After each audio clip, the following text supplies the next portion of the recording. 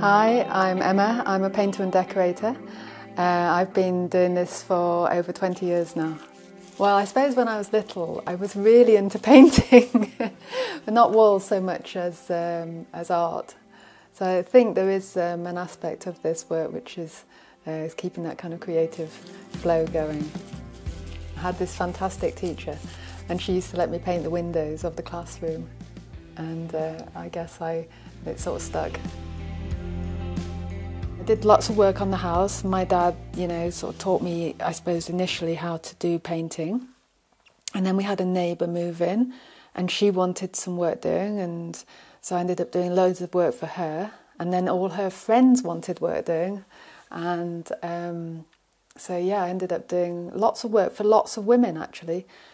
And it was through their support actually and encouragement that um, this became sort of viable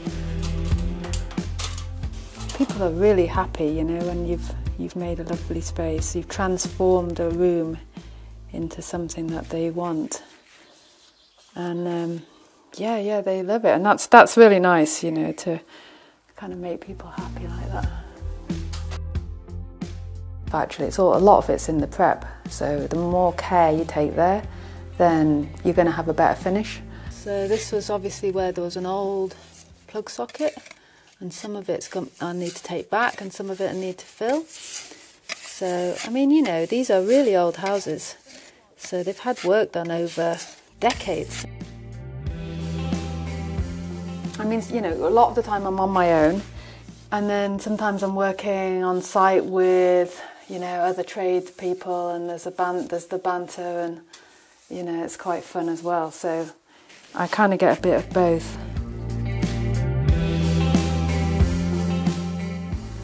Most people are hugely respectful and um, yeah like I don't get any kind of unpleasant behaviour. So it feels like things have changed. I think it's much more accepted that women are uh, in these sorts of trades and I think actually to be honest there's a sense that women are pretty pretty good at this sort of stuff it's being able to talk to people and like yeah get on with you know actually have conversations around what they're looking for.